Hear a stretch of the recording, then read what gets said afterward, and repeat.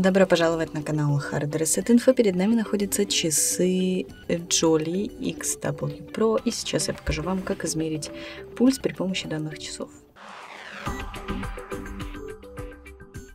Итак, для этого мы листаем влево, ищем здесь пульс, находим и просто ждем.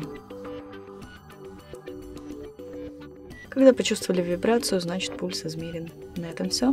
Э, спасибо за просмотр. Ставьте лайки, подписывайтесь на наш канал.